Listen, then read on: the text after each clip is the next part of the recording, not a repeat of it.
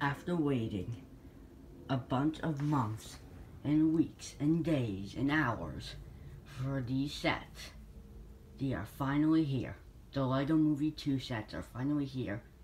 Now you might notice I did not get every single one of them because I don't have that much space on my shelf that much.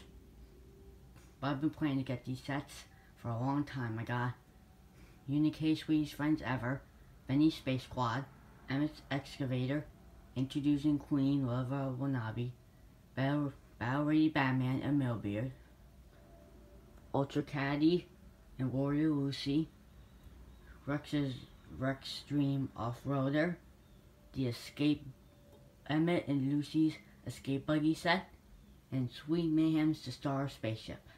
Starship, sorry. But let me tell you, these sets are awesome. Like literally awesome. I'm real excited to build these sets and see what they look like.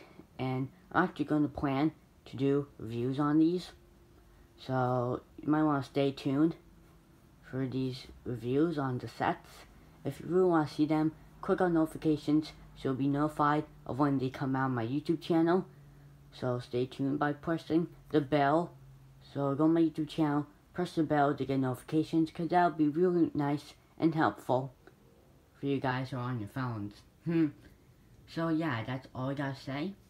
I'm gonna start to build these. I'll see you guys later. Bye.